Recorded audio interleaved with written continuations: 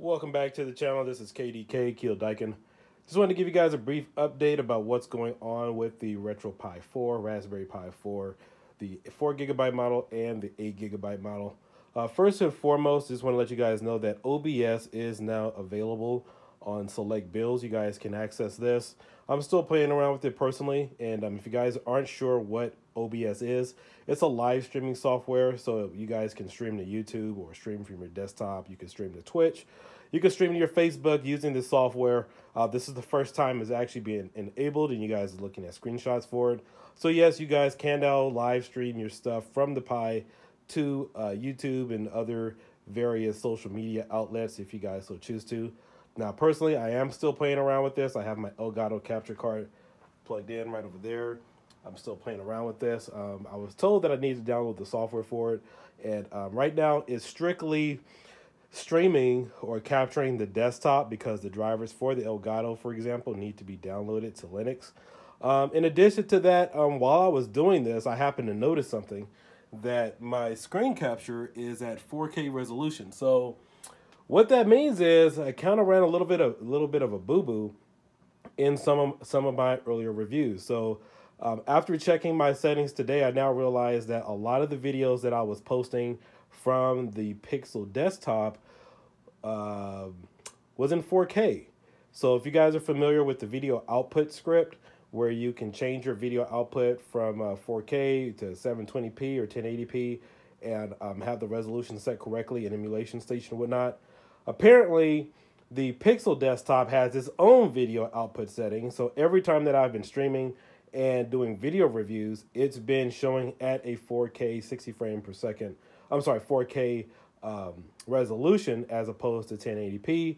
Even though I thought it was set, so apparently Pixel has its own desktop resolution in the settings, which means all the games and gameplay that you guys have seen me post earlier from the Pixel desktop, like Sega Saturn, and also the um, uh, versus Capcom, when you guys have seen me play the GameCube or the Get Wii um, games.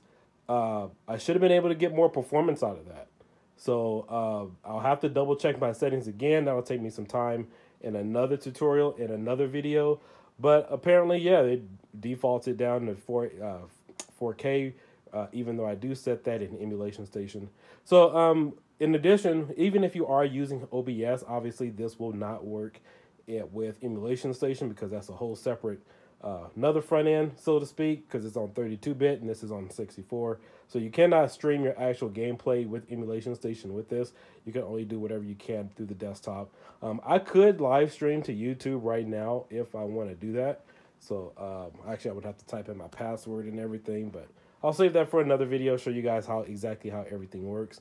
But anyway, just wanted to give you guys this quick update, let you guys know what headway is being made on the Pi 4. Um, also, too, I know that the Supreme team put out a EEPROM updater for your Supreme builds. We're still testing it. I think there's only about maybe five or six people total who have an EEPROM updater, so you can run the SSD drive uh, right off of your Pi device. And the EEPROM updater for the Pi 4 and the Pi 8, um, I'm sorry, the 4 gigabyte model and the 8 gigabyte model, they're two different things. So um, with the Pi 4, obviously I play my videos and stuff, you know, correctly with the with the 8 gigabyte. There's still some hiccups. There's a lot of testing that still needs to be done. A lot of hiccups and stuff. So remember, guys, we just got it, and a lot of this stuff is community driven. So if devs and other people like myself who don't get this equipment um, we can't help you guys out or make advancements in terms of retro gaming um, in the community to help you guys out if people don't have who do a lot of the coding don't have the equipment. So all that's being looked in uh, looked at uh, into. Um, also if you guys are planning on getting a 8 gigabyte model and using it strictly for retro gaming i would hold off for another month and a half to two months. Uh, that's just my personal opinion because everything still needs to be tested and then retested like it was for the four gigabyte model when RetroPie was converted over uh, back in what was that August, August or so. So um, still a lot of headway uh, to uh, get things working. Remember, there's still the attempt or uh, the process of porting over RetroPie or emulation station to a 64-bit OS to take advantage of all the full drivers and whatnot. And then even at that, we still need Vulkan drivers to get everything fully operational and fully optimized. And then and only then will you guys know what the Pi can truly do. But I will say that the USB update, being able to run off of a flash memory, um, I have a one terabyte SSD and that thing was flying.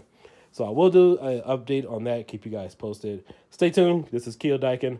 And um, you guys have a great day. Just wanted to give you guys this little brief update. To keep you guys uh, interested, let you guys know what's going on. There are some concerns again with the EEPROM, um, getting everything to work and getting things to read and getting everything running fluid. So, um, oh, and also uh, too, I did have on my eight gigabyte model, model running RetroPie. I played a few games, left it on for about good three or four hours, did some testing, and with no fans and no heatsink, my uh, temps were about 59 degrees Celsius, which is really good because uh, Buster was about 75 near 80 you get the throttle even if it just sat there in idle. So um, you guys can expect all that more here on this channel. You guys will find out first here. And also you guys will get some more videos about the attract mode which is being uh, moved over to a lot of builds. There is an attract mode installer so you guys won't have to uh, damage or uh, delete your current images. So just please be patient. I got a lot of videos and stuff i'm trying to run through. Help you guys out. This is Kiodiekin. Catch you later. Have a good day.